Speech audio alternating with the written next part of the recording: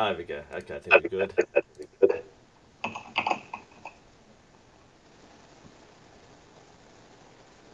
Excellent. We are live. All right. Thank you for your patience. Everyone is waiting in chat. Um, having some tech problems as usual. Um, we're doing some strange workarounds uh, with our, our logistics, but we'll see in a moment that we have things working as best as we can. So um, we're going to flip over to our main screen for a moment. Here you see um, not quite yet, but you see right about now we have our special guest today. So I'd like to welcome uh, Gao uh, from Chaser Archery. Um, he's calling all the way from China, and we're very happy to have Gao as a special guest to our show. So say hello to Gao. Hi. this is Gao Da from Yeah. So, um, like for those who are just joining us, normally we do these uh, question and answer sessions where you get to ask me a bunch of questions. But recently, we're getting special guests uh, with special knowledge coming in to answer specific questions. Now, um, as you can probably see right now, I've got a strange setup, so um, it, well, we can see each other kind of, but uh, we'll make this work. So um, we've prepared a few questions for Gao. Um, we'll go through our questions first, and at the end, we get a chance for the chat to uh, ask questions, and we can answer them uh, in a moment. So uh, let's get straight into it. Uh, Gao, thank you for coming uh, to our show. Uh, let's get started. So our first question tonight is, is more about you. So how did you get into archery, and what experience do you have with archery?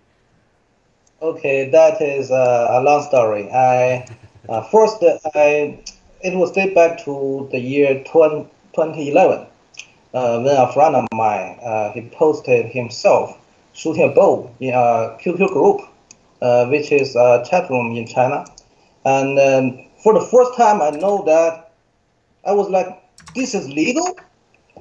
You know that uh, even knives are forbidden in China by laws. Uh, so I anticipated that uh, bows and arrows are contraband in our country. Yep. But at that very moment that I learned that they are legal.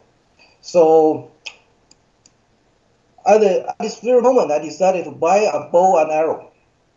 Then I went online and ordered a Chinese traditional bow and started practicing.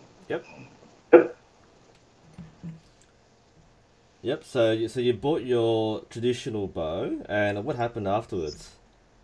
Uh, afterwards, uh, first uh, in the first years, I only practiced uh, at the basement of my house, uh, and later I went to the archery range and I found the Olympic recurve bows. Uh, however, I didn't practice much there. And later, when I went to went on the Chinese domestic archery form online forum, the archerysalon.com, that I found there is a candle bow that called the American hunting bow, uh, which is actually the American traditional bow. Uh, well, then my favorite has become this kind of bow, and I purchased all kinds of gears online. Uh, like I spent uh, more than a thousand dollars uh, on a black tail, a elite VL, Mhm. the one-piece recurve bow. Very expensive but beautiful wooden bow. Uh, how, uh, and later, later I, I found that uh, yeah, yeah, online debate, yes, right, with uh, domestic bowyer, uh, he persuaded me that uh, the metal riser, the metal riser recurve bow is much more superior than the wooden bow. And from that moment on, I have a dream that to achieve, which is the uh, ultimate hunting bow. The ultimate hunting me- means that is a gear that is uh, unrivaled in every aspect. Yep. So uh, back back to those years, uh, I practiced uh, this kind of uh, American traditional bow uh, with the uh, instinctive shooting method and uh, from the gap method by Byron Ferguson.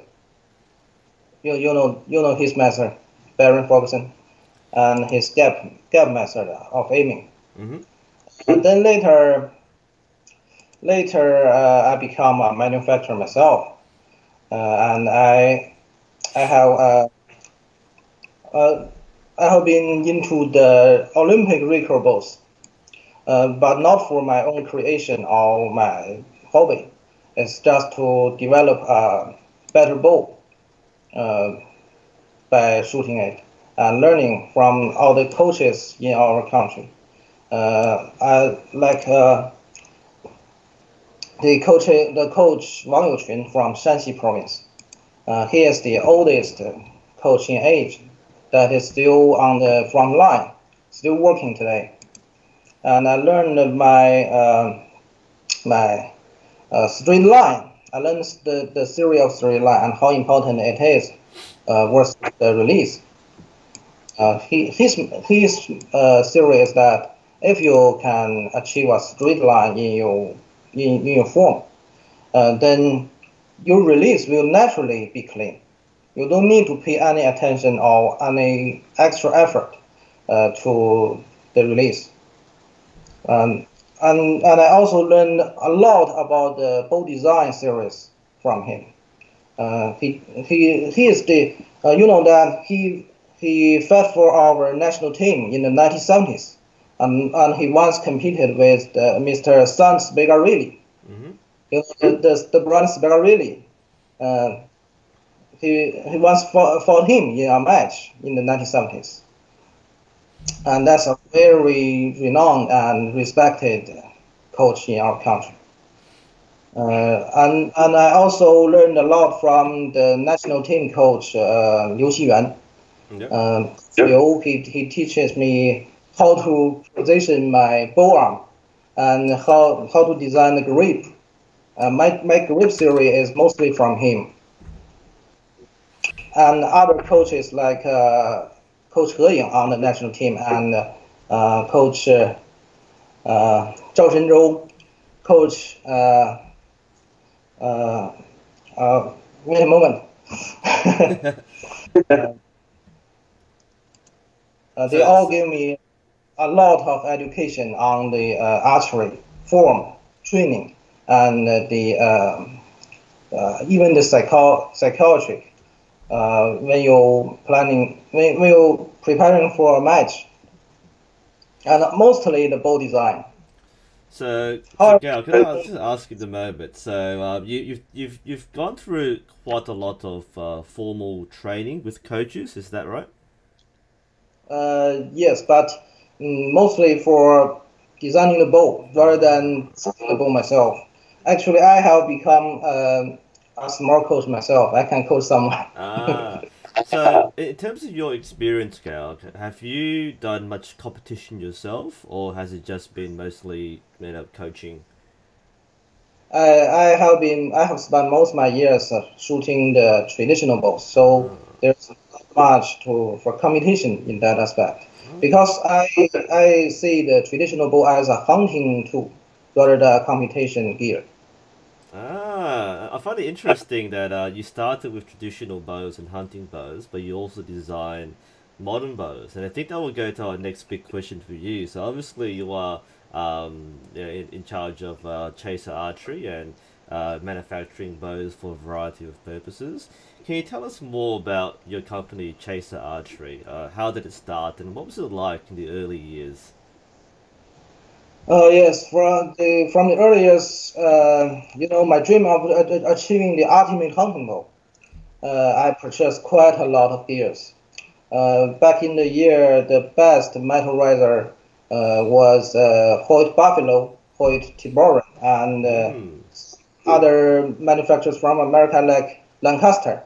They they built uh, they made uh, a Tradtech Titan 2 you know that rather a 17 inch.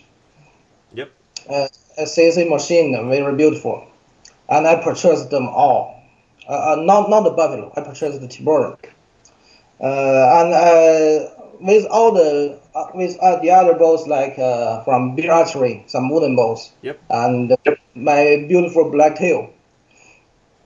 And then uh, I found them all not very satisfying. The the, the metal risers. Not that they are not good, but they have many aspects to for, to improve. Uh, then, after looking under a sky sky archery, the sky archery wildfire, I almost purchased. Uh, then, then one day, I found uh, a familiar bow, a familiar bow seller, uh, a friend of mine. He just posted uh, a limb bolts for the a custom-made limb bolts for the Hoyt Buffalo and Tiburon, and it's very beautiful. I have it here. Uh, can you see it? Yep. Boat is uh, laser carved, laser carved these images on, on the surface. Yep. And I, I immediately purchased this. It's about, it cost me about uh, how much? Uh, about uh, 200 Chinese yuan. Uh, it's about uh, that's about fifteen dollars. Uh, then when I purchased this, I posted and shared it in the tutor group that uh, that uh, both seller uh, held. And just at that moment, the maker of this lamp uh, his name is Zhang Zhen. He he was online at that moment, and he saw my posting his rules, and he private messaged me to check uh, uh, how I like it, and the feedback. Uh, and then I and then he found that I have a dream to build the art to to have to possess the ultimate hunting bow. I haven't think of making it myself before that moment. And then Zhang Zhen told me that he can make anything that I design. If I can design a bow, he can make it for me. And that, at that moment, that I, I realized that my ultimate hunting bow dream can come true. So days later, uh, after uh, a long talk, we decided to found this company. Uh, it was the it was August 2015. And that's how, how, how Chase Archery was founded. So that, that was Chaser Archery. So that was your goal of creating the ultimate hunting bow. That's why you started the company. Is that right? Yes. All right. I'm going to go backwards a bit. Uh, I was interested because you mentioned that you had experience with buying bows like the um, the Hoyt Tiburon, um, the the Tradtech uh, Titan. Um, so you mentioned that uh, these bows were very good, but there were some improvements. Um, what do you think were some of the um, improvements that could have been made to um, the bows at the time? Um, at that moment, uh, Tiburon and Buffalo, they don't have alignment adjustment method. Ah, Uh, that's one thing. And it's uh, the surface, the painting, and uh, the machining. I, I don't know anything about machining by that time. Yep. Um, were not they, they were all not to the their best uh, potential. They, I don't think they they put the, their best into the, these products. And for the Tradtech, uh, the Tradtech resin, eh, they are a beauty. I really like the, the Tradtech, but uh, I think the the style and the design of the bow just not match my uh, my my preference. ah, I see. So like uh, Some- looking at things some- like the yeah the two things were sorry. Yep. So the two things you said were adjustments and style. Is that right? Yes. Okay, all right. So uh, yeah, that's uh, you. we- we- Before that, um, you, you started your company. Um, so the goal was to make the ultimate uh, hunting bow. Um, and uh, you've made a lot of things since then. We'll, we'll get back to this later.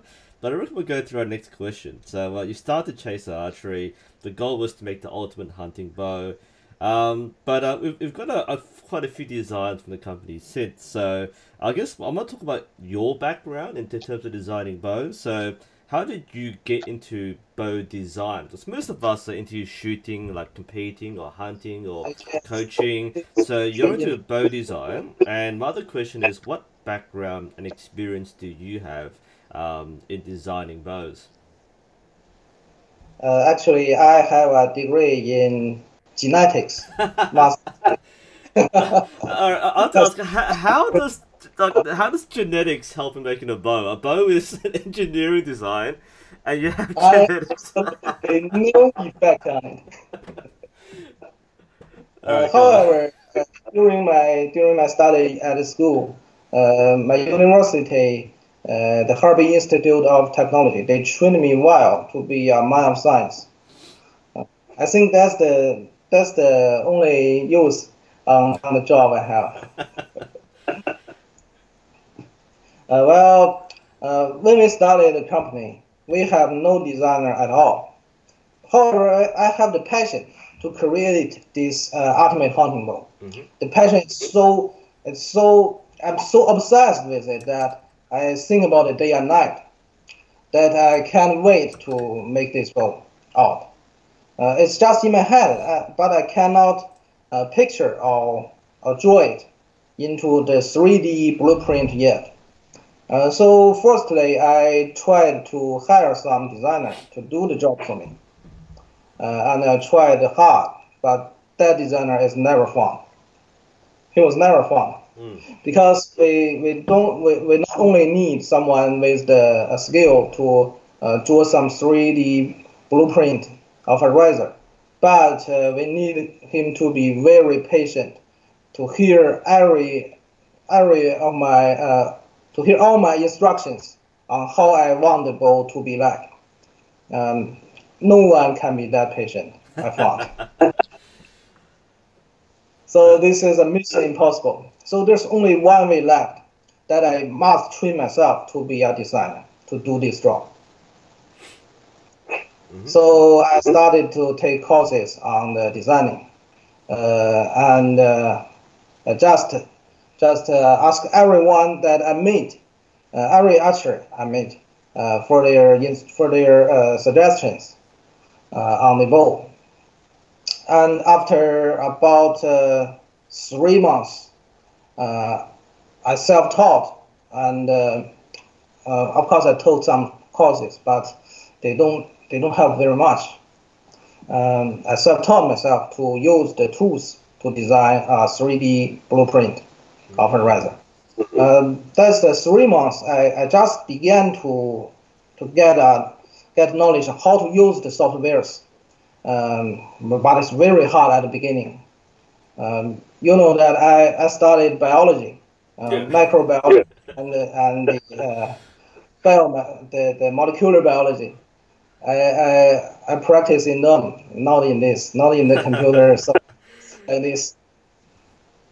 Uh, but I think uh, it may be some something in my talent that made me learn it so quickly.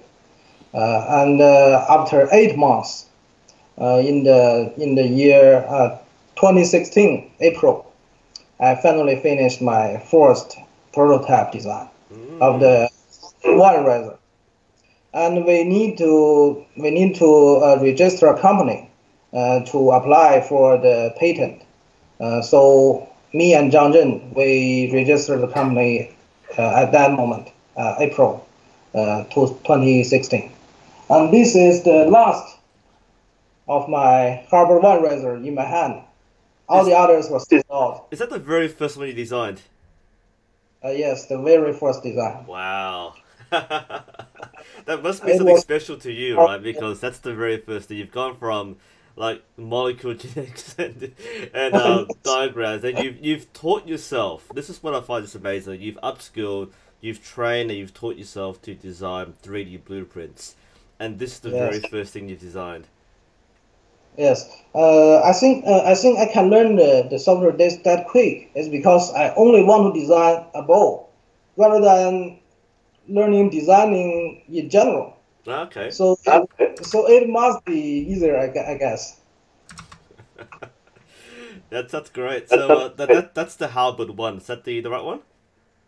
Yes, the the, the Halberd one, and uh, I designed this this first generation carved uh, limb bolts to honor this boat that make make me and Zhang Zhen know each other. Ah. and decided every boat we make in the future, we will use this kind of uh, carved uh.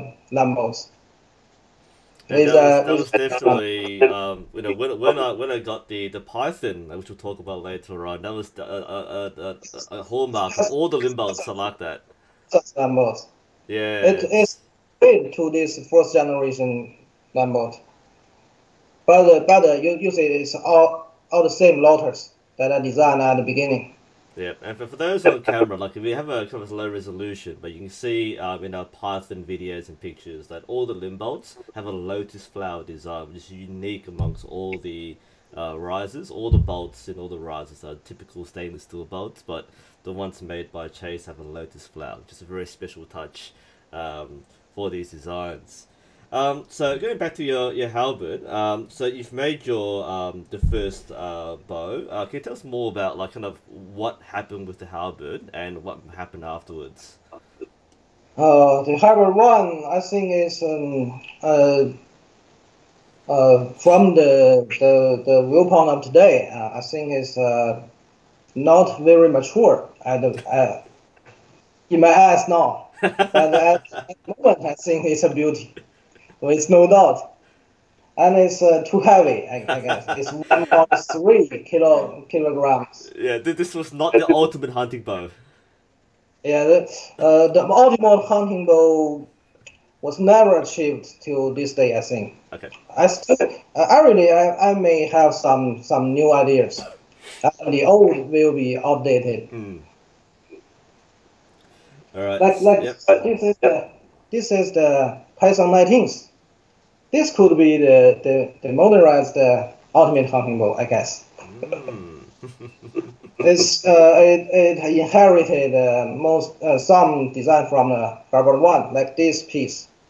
This piece is the uh, I call it uh, the uh, in English it should be called double radius shelf. Okay. It's removable, and if it's removed, you have three plugger holes here. You say three. Yep. Yep. You could use a plugger at the bottom hole and with the uh, with the four four shelf, the four shelf, and you can use the two plugger holes as the normal recurve bow. So And uh, with, what, what I'm seeing there, so what you said was there are three holes uh, for the plunger. So, you, so that means you can shoot off the shelf with the plunger. Yes. Oh, okay.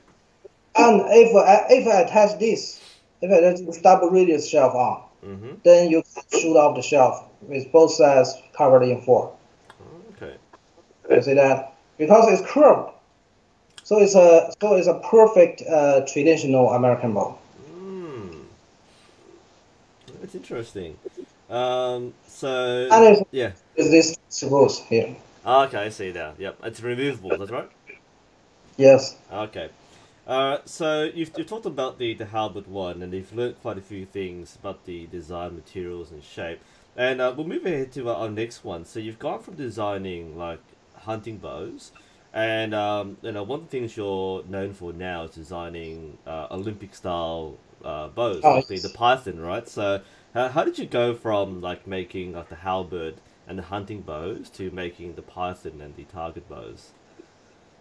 Uh, it's uh, it's after I uh, learned the designing the designing skills. Uh, it's early in the 2016, uh, or, or at the end of the 2015. Uh, it's, it's well before I finished the design of Halberd One that I started my project of Python. Uh, it's the 25 25 inch uh, Olympic record present. Uh, the reason why I started this is because that when I dig up in the history of uh, modern bow development, uh, I found that uh, the Olympic recurve bow derives from English longbow, Mhm. and um, with the with all the history that I see how the bow evolves, uh, with all the years from Yamaha, Hoyt, and Samick, um, I found that it's it's quite fascinating. It's it's just like uh, the the tech tree of tanks in War Thunder, you know. and then then I, I, I found that I must um, also make a this bow because a hunting bow a hunting bow is uh, not for computation of course, and it doesn't uh, represent the the highest technology and uh, development of uh, of bows today. Uh, so uh, and of course, uh, I watched uh, many of the uh, Olympic uh, archery shooting videos, and some and the uh, uh, also the uh, World Archery Series competitions. And when when the, the final victory was achieved, when the Korean coach yells "turn," oh, it should be "turn." Yeah. that moment, that moment that it just got me. That the, the glory moment and the happiness that when when the archery should should turn and get victory. Uh, of course, I know that I am never to get that glory myself, uh, as many of us too. Uh, but I find that if my bow can go to that competition and get a victory, that I can share some of the glory myself. Wow. So that got, um, and my dream has shifted from the ultimate counting bow to the ultimate recurve bow. Wow, that's a, that's a great story. Like I know some of us, like you know, we you're right. We, we, we dream or we kind of have a fantasy of reaching that glory of getting like 10, 10, 10, winning gold medals. And some of us do it as athletes, some of us do it as coaches. But you're living this dream as a bow designer. Yes, yes. If my bow got a medal, it will just like me getting it. That's, that's amazing. Um, that's great. It goes hard work in it. It's great. Um, and like speaking of which, like, uh, ha- have you had any successes? Like, have any um, have you won? Uh, has your bow won like national tournaments or um, you know, achieved good results?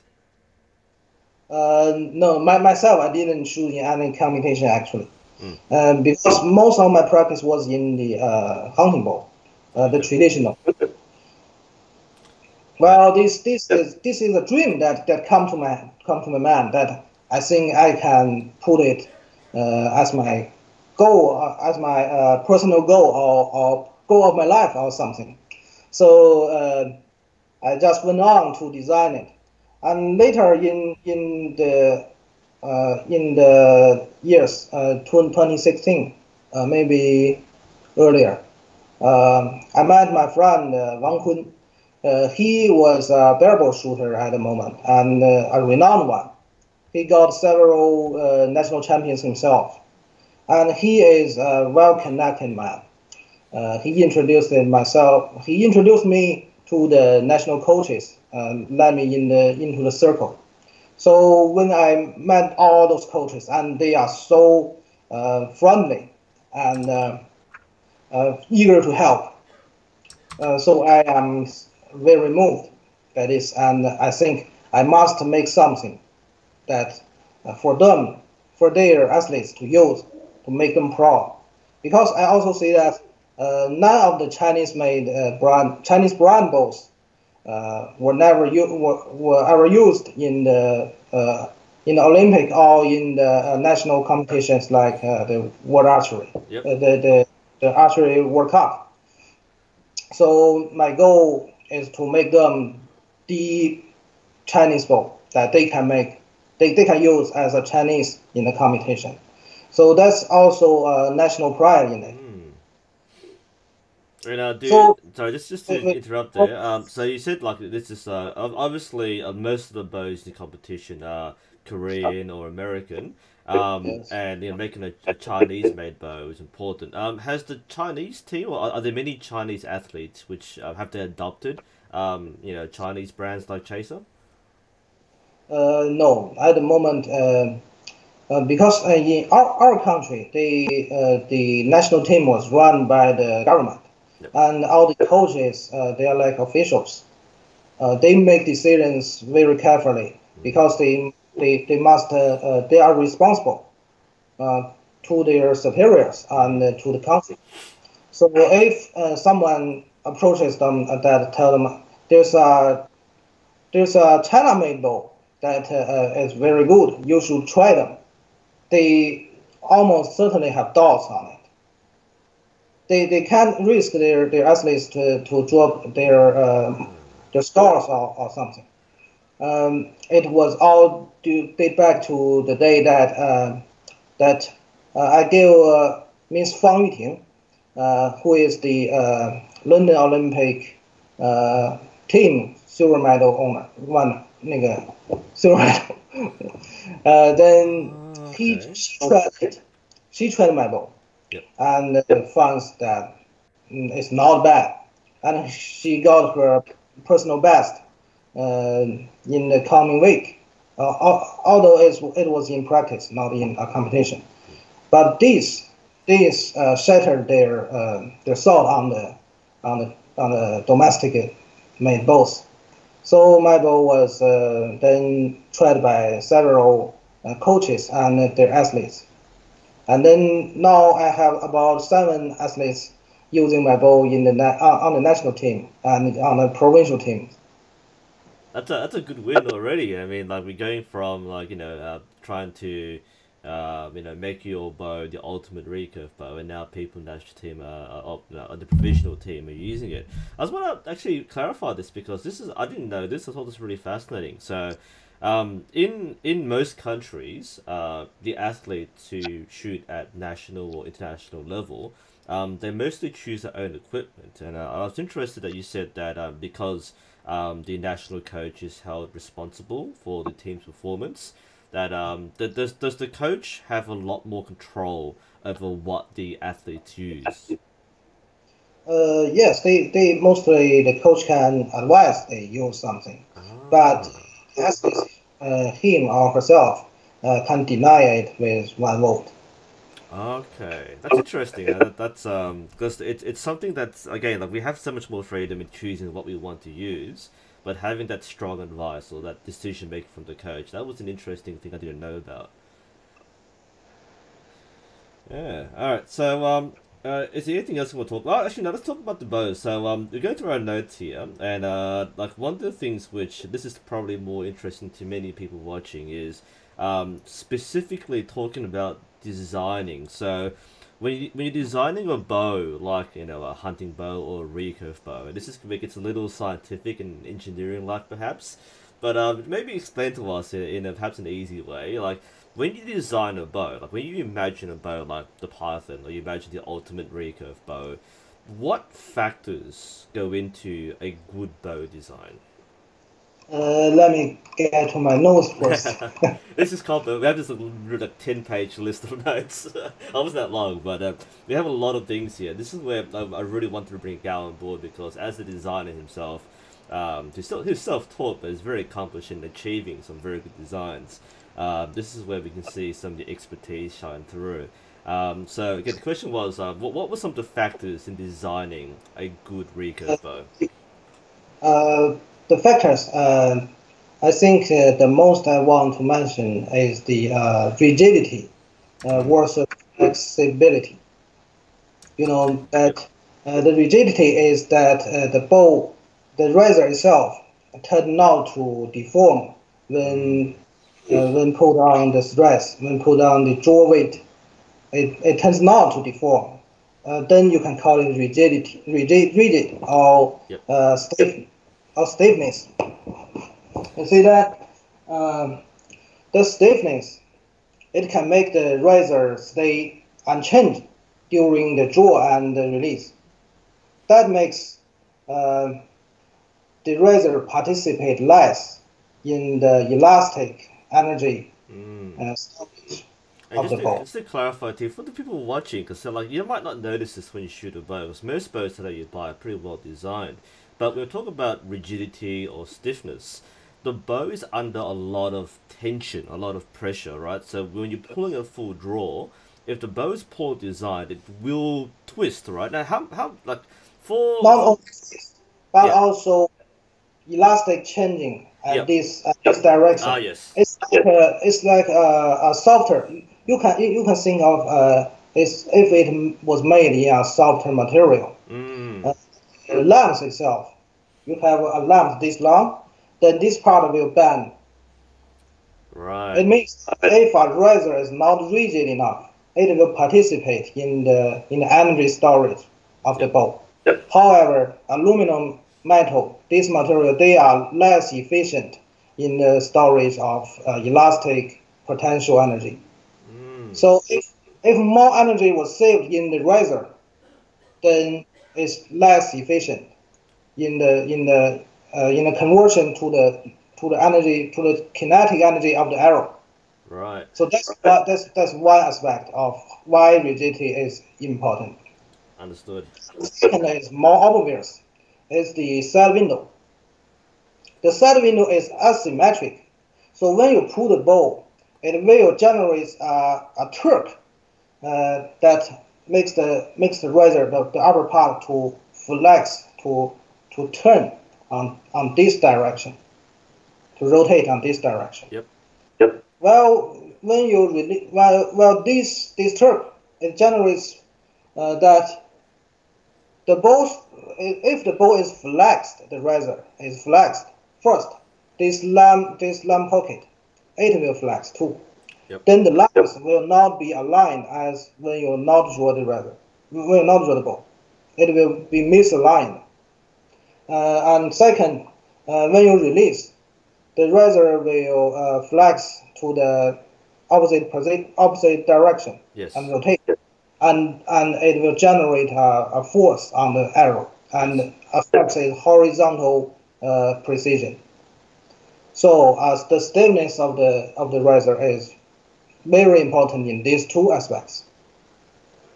Uh, well, however, st- uh, rigid or stiffness uh, is not only uh, it's not the only thing that uh, is needed, but also flexibility. You know what? Flexibility. It means the razor. Uh, it means everything that opposite I just said. It will the, the razor will bend, will deform uh, with the lamps that are drawn, but this will generate what? Will generate a ejection effect when when released. The ball will. Uh, uh, it's not only that uh, less rigid bows will, will generate this uh, this ejection field, but the unheavy, the unheavy bows, when the end is more heavy than the middle, the two ends more heavy, then it tends to uh, generate an ejection effect. The ball will the bow will just eject from your hand. Okay. Then then this will generate uh, some feel, some personal uh, preference uh, favored by some athletes. This can also affect their performance. So so that's why uh, there are many manufacturers these days. They are using the uh, the unheavy designs that, that distribute weight to the to the both ends Mm. rather than middle. So this uh, this seems uh, to although this is contradictory to each other, but they need to be balanced in the designing of the ball. Uh, however, we chaser archery, we choose to to honor rigid as a priority in our design because we uh, there, there was a saying that letting the bow shoot himself, uh, shoot itself, let letting the bow shoot itself, uh, that that should be eliminate uh, human in, interference in in the shooting. Uh, but we developed that theory into uh, let the lambs shoot itself. Uh, just eliminate the eliminate the razor's interference in the lambs. So that's our- Ah. However, this theory cannot be proved uh, with uh, with figures or, or some data, but it can be proved by the, the shooting feeling uh, by the athletes. Ah, that's that's really interesting. I, I didn't understand too much about the details about what goes into bow design. I find it really fascinating to talk about how I, I liked how you talked about the the ends being heavy. That's something which uh, I talk about a lot when comparing risers. Some risers are like middle heavy, uh, some are more balanced, and some are more balanced towards the For- ends. for This hand heavy, this hand heavy can be adjusted uh, with just putting weights Yep. to this part or this part. You just you just put weights on the end. You Yeah. see at the left bushings here. Uh, that is how I, I how I man, how I want to resolve this problem. If you want the, the heavy ends, then you can add weights in these two in these four. Mm. Then it do have a better ejection field when you put weights on them. Ah. It's adjustable. Mm, However, uh, that will make the razor more heavy, of course. But uh, if you just put the, the weights in the razor itself, then it will not be adjustable. It will just only be a unheavy razor, not not adjustable. But uh, if you don't, if you put it uh, put the rigidity in priority, then adjustment method can resolve this problem. Mm, now, while you're holding um, the Python right there, I've got another question which we didn't really talk about, but um, this is because people watching this might be used to traditional bows and are not used to seeing a modern aluminium bow with the fancy shapes and cutouts. Can we hold the bow for a minute there? Um, can you explain um, like what goes into like the design? You've got all these shapes and cutouts, and obviously there's a lot of engineering involved. How do you Oh, decide what it looks like? Uh, it's from uh, the uh, the tool that I used, uh, the mechanical tool. Uh, it was once when I learning the designs. Uh, I met uh, engineer online, and he told me uh, he was doing the uh, the wheel hubs for the automobiles. He was designing those the, the, the wheel hubs, uh, which is the aluminum wheel of the of the vehicle. okay. Uh, and he taught me a method of the the of topology. Topology, you know, the the science of the shape, and and uh, with that, uh, he taught me the tools of finite uh, element analysis. Uh, it will analyze the uh, the inner the inner stress distribution of a design of a shape. So with that, with his method, uh, I developed a theory that if we can eliminate all the uh, inner stress concentration concentration zones of the design, then we can make the bow more rigid. Because it, it means every part, every bit of ma- material in the razor, in the structure, they will share equal stress when added a load. Uh, that means uh, every piece is uh, put to use equally efficient. So it will be a very, uh, very weight and uh, strength uh, uh, efficient. Mm. Uh, so I use that tool. Uh, that tool is uh, I, I can do it myself because it's very professional tools uh, that only the engineer he can he can use that. So I outsource it. I outsource all my uh, all my analysis to him. Uh, and spent a lot of money, of course. Uh, and he he gave me the topology uh, advices, and uh, I changed. I, I I corrected the, the design based on his advice. Ah. This uh, this process, you, you you design a prototype. He do the analysis and spend some money, and uh, give me feedback, and I I change, I added it, um, just back and forth, and then finally I, I achieved a point that uh, the whole design there is nearly zero concentration zones of stress. That is the Python. Ah. It looks like this. So, like the whole process started from understanding um, wheel wheels, right? The wheel design. Yes. Ah, okay. And I'd imagine like there'd be some software and testing to see the stress points, and that's how you improve the design. Is that right? Yes. Ah. Uh, actually, it's all theoretical. I don't know that uh, what, how the other manufacturers designing their bows, but this is the method I found that I could use, Ah. and I, I put it to test later with the with the samples, and it turns out very good. Mm, wow, that's amazing.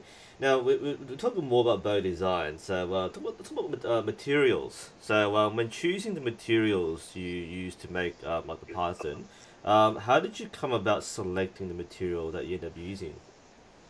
Uh, actually, uh, when I set up the, the initial principles of the design, uh, the rigid the rigidity uh, um, prior prior to the flexibility, I need the bow to be rigid, and rigid means the material must have a better, uh, higher yield stress.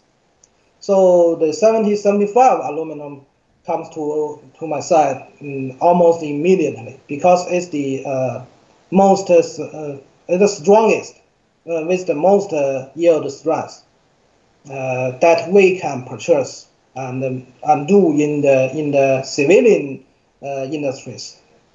Of course, there are military aluminum that we cannot get our hands on. Well, this uh, the 7075 has a yield strength of uh, 505 MPa, uh, while the normally used 6061 only have 276 MPa. That means uh, that, that that converts to, to English or human human words is to is that uh, with the same strength put on on the razor, uh, it will uh, deform about half uh, as the as the 6061 does. So that's the stiffness I wanted. So, uh, but however, uh, at the moment I design Python, uh, there are only uh, like three manufacturers use the 7075, which is MK Korea and Solid. And Fivics once used it on one of their product, but they discontinued it. Uh, so I, I, have no idea whether this will really be better. So I constructed uh, uh, samples based on the very same design and tested them. And the test result turns out very good. the 70 the 7075 uh, not alone is more rigid, but it, it absorbs more shock because the material is, is shock absorbing. And with these findings, that I decided that our Python should use this material. I should point out too that uh, my first impression when shooting the Python was exactly that. It felt so soft, like the, the absorption was so good. And when I gave it to other people to try, um, immediately it just felt different to everybody we've tried before. Uh, not trying to sell the Python here, but uh, I use it currently for a good reason. Um, it mentioned that one of our club members, Thorin, he bought his right away. Like the moment he touched it, he wouldn't give it back. so he had to buy one himself right away. And that was a really amazing thing because, like, like Gao said, um, like not many companies use um, this material.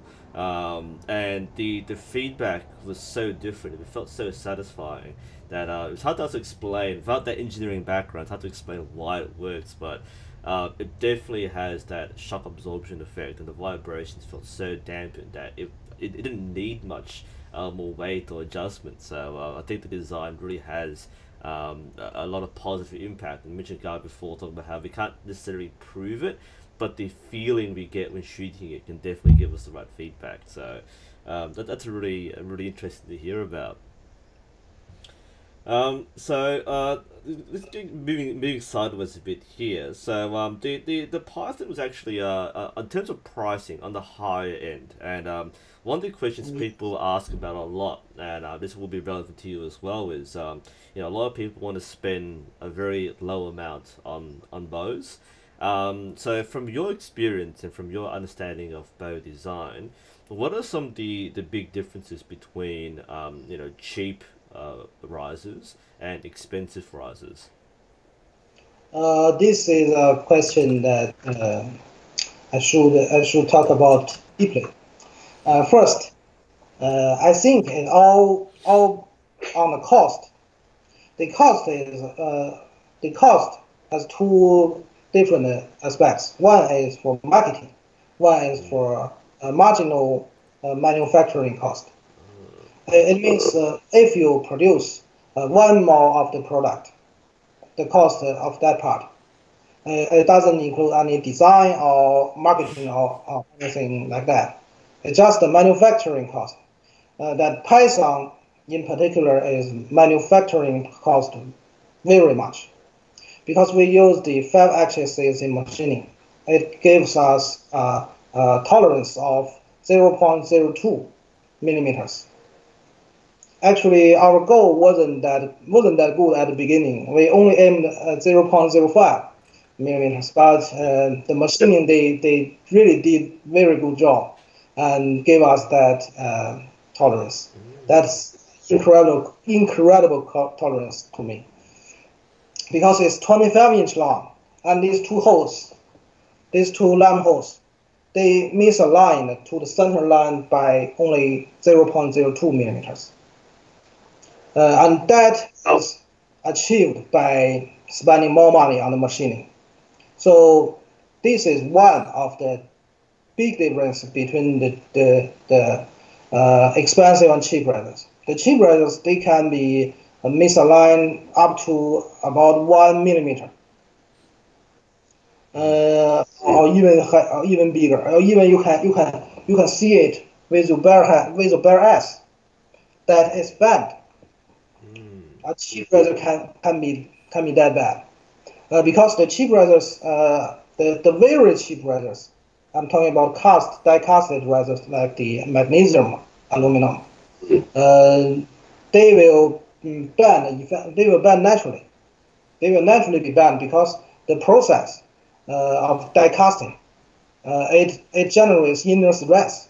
Inner stress will mean that when you when you withdraw the um, the mold, The mold, yep. then it will immediately. And with the with time, with with the, the temperature drops, it will bend more. And it usually needs correction after that processing. A correction is definitely needed. A correction, but but the correction won't won't correct it too into a too accurate uh, status. And, and would that mean too? So, like, talk about uh, the die cast uh, risers. Does that also mean that these um, die cast risers are more inconsistent? Is that that what the problem is? Uh, the problem actually is that inconsistency on the misaligned Ah. center of that will make the adjustment of the of the center line very difficult. Ah, Uh, yeah. And the other thing is that the razor will uh, generate uneven, unevenly uh, stress uh, during the draw, and then it, it performs not uh, it will, will not be consistent at each draw. And just for those watching too, this is important because a lot of people ask about bow tuning and bow setup, and one of the things which um, a lot of people ask about is limb alignment. So because of the offset um, of the top and bottom limbs, uh, some people have to spend a lot of time getting exactly right. But uh, we mentioned before the Python that some of the risers like the Python are so consistent in that there's so little difference in the top and bottom limb that you can pretty much put the limbs on and shoot right away, and there's no need for tuning. So it solves a lot of problems because that people don't recognize that even a slight fraction of a millimeter off center can create that suboptimal performance that can really hamper um, your accuracy and precision, and that's something people, especially beginners, aren't very familiar with. So investing in a in a very expensive riser can actually mitigate that problem immediately. Um, I don't think I've actually tuned my uh, my limb alignment for the Python. Never had problems. Uh, they're just so good out the box. And that's one big difference. Actually, the, the cheap risers have their merits too. Mm. Uh, the cheap risers uh, like the they the first their, their design is different. They are designed to be more flexible. Uh, their cutouts may be bigger, and and their la- their, their uh, bow arms may be thinner and narrower, so that uh, it it is lighter in weight. Uh, for beginners to intermediate shooters, uh, the light weight of the razor seems more important than the accuracy or precision of. Uh, because their stress hasn't hasn't been built up yet, Mm. and that's the very very important merit that that people should by the cheap razors at the beginning of their training. Mm, okay. So because the, the expensive, expensive razors they are they uh, they mostly are stiff uh, and uh, heavy than the cheap ones. Mm. So just to summarize that, we we went through a few things there. So some of the differences were things like the the method of manufacture. So the cheaper risers are more like die cast, or those which use machine uh, aluminum, they use like three axes compared to five axes. So the expensive risers, um, yep. the They, they more- need access machining to, to cut these lamp bolts, uh, Yep. these uh, lamp pockets. Yep. Okay. So much more precise manufacturing. Um, the materials used, and you mentioned marketing as well. So cheaper risers uh, might not be marketed as heavily, so the cost uh, is Yes. much lower. Marketing cost is, is, is actually very huge in this. Mm. In this. Uh, and that is what we are, we are doing bad in. Ah, Okay. we spend much in the marketing. So uh, our main problem is is uh, most of the people don't know that we exist. Mm. Uh, just, just, just for those that don't chase very well. Um. So what what countries or what shops have you managed to reach out to? uh, actually we we don't have we don't have uh, uh, very much abroad uh, distribution network. Uh, actually, only uh, some online shops and some small clubs in Europe carries our okay. product. And in China, we also we also sell them directly online rather than mass uh, rather mass marketing or distributing on the offline uh, the class. Okay. Mm, I think that moves on to our, our next question. So um, we, we talked about some of the, the challenges with um, Chinese uh, companies and manufacturers developing their own designs uh, versus the more established uh, companies which design bows in Korea or in uh, in the in the West. So um, my question is like, what are some of the uh, what, what are your thoughts on how you know Chinese manufacturers are developing, especially these modern target risers? Um, and do you think there might be a, a large demand for uh, growth in Chinese archery um, companies and manufacturing? I think that definitely will. It definitely will grow uh, in the future, and in the and now there are many more companies that they're making good stuff uh, these days mm. for for the community. Uh, back back year back in the years, they may uh, make some. They may have made some uh, cheap stuff.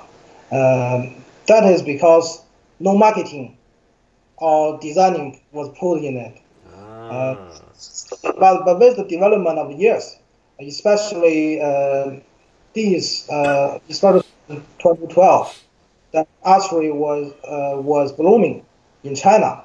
The domestic market, uh, they get a lot of money from there, and so the manufacturers, uh, although they uh, derives from factories, they, that they found that both can make the money, and the factories tend to turn from other products to both. Uh, that's uh, most of the Chinese manufacturers start. Um, uh, quite contrary to us, of course. yeah, I, find interesting that the, the two things I've noticed, like in the, in the last few years, especially in my line of work online, is, or firstly, um, like you mentioned before, uh, the, the the low cost of marketing, if any cost. Uh, I think many of the, the popular bows which are sold from China or made in China um, they're mostly sold online through eBay or through um, Alibaba, AliExpress. Even Wish sells a lot of the same Chinese bows, and um, there's no marketing. Like people just buy it because it's really cheap and they're really, really popular for that reason. So, was the, the only marketing back then. Yeah, so just just having low prices and you know thousands just buying it that's the, that's their marketing. That's the interesting approach to to save money on, on marketing. It's just make it really cheap in the first place. Um, that's interesting, and um, I've also noticed a trend too. Like like you said, that uh, more Chinese companies are starting to expand into more of the high end or intermediate um, risers. I've noticed quite a few like you know normally cheap brands have stepped up and designed very modern um, designs. So um, that's an interesting trend I've noticed. Uh, so that's to me something which I think we'll, we'll see in the future. Um, and speaking of the future, uh, so this is kind of your thoughts again. Um, what do you think about the future of bow design? Uh, what changes or what technologies do you think will, will change the face of archery in the future? The first thing coming to mind is the use of new material, uh, like uh, the 1790, 1790 aluminum. That's a super aluminum that uh, we can actually get get our hands on. Mm. Uh, I'm testing it uh, as we speak, uh, and but but it, it may need some some time that I can conclude whether it is suitable for riser building. It may not because uh, although it has more strength, but um, uh, it uh, may be more fatigue. and and the other thing is titanium aluminum, titanium, not aluminum, titanium alloy. Uh, that titanium alloy, I have I have uh, uh, tried to make uh, something like that uh, in years back. Uh, however, that I I find it not quite practical to make because the machining is too costly. however, there is an Italian company called Tie Riser. You probably have notice Thai Riser they made out some some prototypes, and that's awesome and impressive. Um, I very admire to them. That uh, that I gave up the titanium riser uh, years ago, but they made it out. yeah. However, we still need to see how, how it performs and whether it is um, uh, a future a future way to go. Uh, however, the titanium riser uh, is not the performance; it's the it's the cost is too high. That I just not cannot. Uh, it may cost uh, up to a thousand, uh, ten thousand US dollars. just one. But is that for the riser? Just just a ten thousand dollar riser. Because because uh, the machining, the machining, the, the, the titanium alloy, it will react with the uh, with the uh, the machining gears, and so it will be uh, the gears will will, will be abrased, and uh, it will not be precision precise enough to to generate the the tolerance we need. So it, it may also uh, mean that we, we need to make several risers to have one that is qualified. So that's the cost from. And titanium alloy is always it is also very expensive in material, of mm. course. Wow. So uh, yeah, if if anyone to send me a ten thousand dollar titanium riser, uh, feel free to uh, contact me. And uh, my question for you in chat watching this is: Would you spend ten thousand dollars on a riser? oh, the, the Thai riser from Italy, from Italy. Um, I don't think they, they made it that uh, that expensive. So they must have some way to, to have a breakthrough on this problem. Mm, okay no, knowing me and knowing most people, I, I tell people you should buy a very good riser and buy cheap limbs. Like, just imagine somebody having a ten thousand dollar titanium riser with the cheapest limbs on it. that would be a, terrible waste of a, of a, of a riser, but that's that's funny. Okay, so uh, that's a really interesting again. Looking through um uh, some future technology and materials, that was a really big focus. Um, I, I think we're near the end of our, our show. It's been a good session so far. Um, we're going to give chat a chance to uh, ask questions for those who are in chat right now. It's only a few of us, but if you have any questions for Gao, just while we are finishing our stream, feel free to ask in the next five or so minutes. Um, okay, let, let's check it. Uh, yep. There's so many chats. Yeah, yeah, there's quite a few. People talk about other things, which is great too. I think one of the questions which we had before was, uh, what are some of the biggest markets for archery? I think the question for Europe, but I think we're talking, about worldwide. Like, where are the, the people buying archery gear? Like, what markets, from what, from what you know, what countries are people from who are buying bows mostly? Uh, I think, uh, well, most of my products were, were, were purchased in the, by the domestic China market. Mm-hmm. Uh, but someone uh, from Americans, from America and the uh, Australia, of course, and Europe. And they all have we, we all have some clients there, mm. but not very many as we didn't spend much in the marketing. People don't know our existence.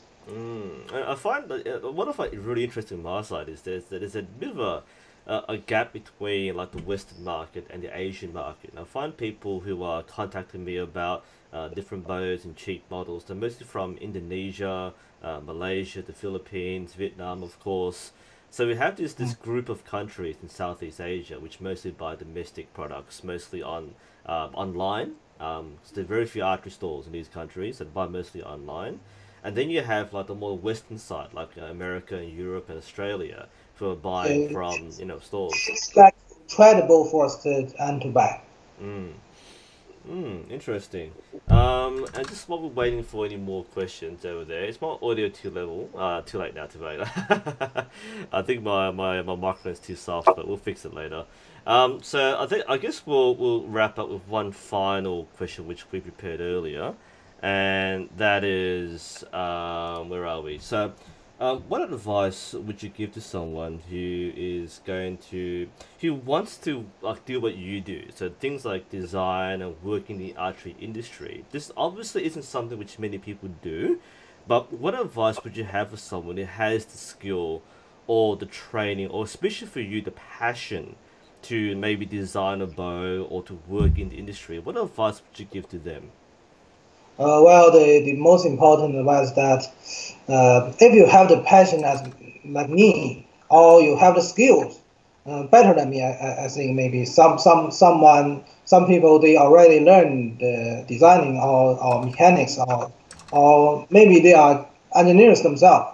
But if they want to make a top end boat, uh, like Python, like like what we did, they must prepare a, a huge amount of money to do that.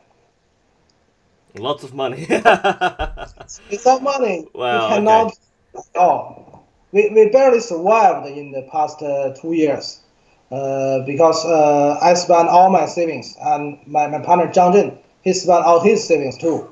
And uh, we took some loan from banks because because Python is just too expensive to sell. That that uh, I know that this is a top end riser, but it will take quite some effort to persuade people to believe that. Mm. So that that is money that should be spent on marketing. Because we didn't spend money on marketing, that the, the products don't don't go fast. So the money is very intense for us. Wow, so Uh, like no, no, no kidding, right? So starting a company from scratch and designing things is a lot of investment. And uh, what you said about marketing is something I've seen in other industries as well. So things like performing arts and creative arts.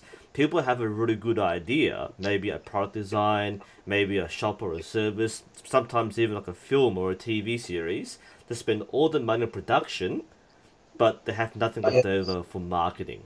And that's spend all yeah. our pennies to the development and production. and somehow you have to sell this thing. Remember that. okay, wow. It's Sorry. more difficult to sell rather than to uh, make one. Mm. Oh, that's that's amazing. Okay, I think we'll wrap it up there. I think we're, we're kind of running out of questions. Um, I think what will happen is that, um, of course, you know, once the uh, live stream goes on YouTube, more people will come back and watch it. And I think Gao will be very happy to answer any questions we have. So if you have a question for Gao and for Chaser Archery, feel free to post a question in the comment section below, um, and we'll pick it up and we'll answer those later on. Um, I want to say thank you to you Gao for coming along. It's been a very insightful conversation, especially for the topic which many of us don't know about, which is design and what's ha- happening behind the scenes in designing a boat from scratch. Um, so again, thank you, Gao, for joining us. Thanks, thanks all, thanks all. It's my honor. it's been very good. And of course, if you want to find more information about Chaser Archery or the bows they have, um, wh- wh- where can we find more about Chaser Archery? Uh, uh, nowadays, uh, our website is under construction, but you can just follow us on Facebook. It's uh, facebook.com dash chaser archery. Excellent. Okay, we'll li- we'll link the website and the Facebook page in the description as well. So again, thank you, guys for joining us. We hope you've enjoyed this live stream. It's been an absolute pleasure. I've learned a lot in terms of their design, and there are a lot of things which I assumed I thought I knew, but having this uh, engineering scientific background has helped me a lot too. Hopefully, you found it enjoyable yourself. Uh, I'd like to thank everybody for joining us, and again, thank you to Gao. We wish you all a very good day or night wherever you are, and hopefully, we'll tune in next time for our next Q and A. See you all next time. You.